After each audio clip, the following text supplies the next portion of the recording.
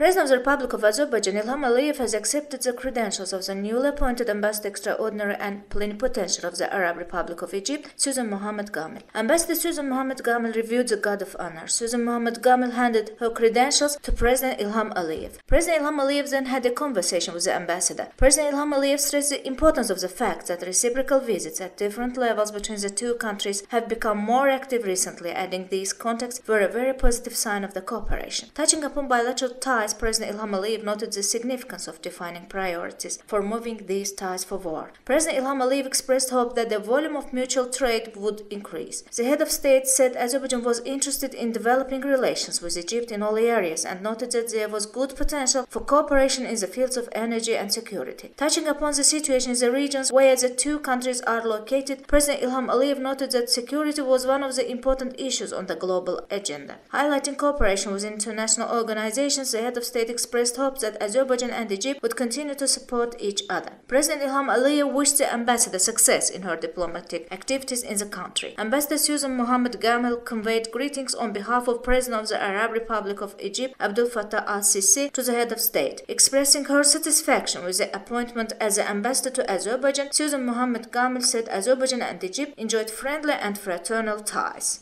She thanked President Ilham Aliyev and the government of Azerbaijan for supporting Egypt in international organizations. The ambassador paid tribute to Azerbaijan's national leader Heydar Aliyev, describing him as a great personality and a true leader. She said that she was always a witness that the people of Azerbaijan highly appreciated the achievements of the national leader in state building in a short space of time. The ambassador also noted that her country has always supported Azerbaijan on the Armenian-Azerbaijani Nagorno-Karabakh conflict. President Ilham Aliyev thanked for the greetings of President Abdul Fattah al-Sisi and asked Susan Mohammed Gamil to communicate his greetings to the President of the Arab Republic of Egypt.